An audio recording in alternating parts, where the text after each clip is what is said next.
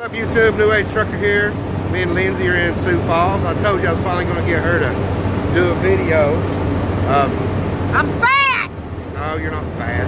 We're going to go in here to uh, the frying pan in Sioux Falls, grab us some food.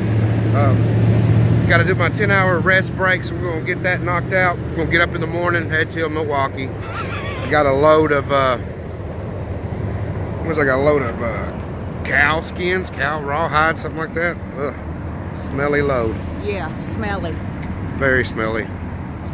But uh, like I said, we're going to go in here to the frying pan, check it out. Uh, to be continued. Let's check out the menu.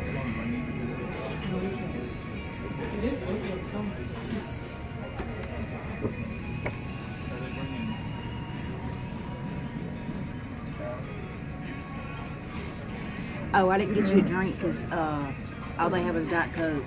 So I didn't That's- know if that was yeah, I'll drink Diet. Coke. I'll tell you. You don't need yours fast anyway. You guzzle it. I know what I'm going to eat, guys. We'll figure out something. I'll tell you what I ate and how it was. I know what you can eat. But uh,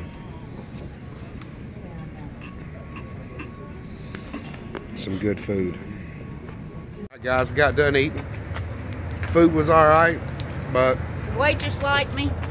yeah, I asked for a refill. Never got a refill. She asked for a tea to go. She got one. I they never even. And I normally, got a free drink to go. yeah, I normally tip better, but my tip of the day for them was, you want more of a tip?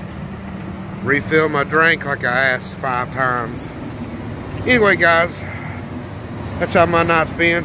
You guys out there, be safe, like, subscribe, share, and keep on trucking.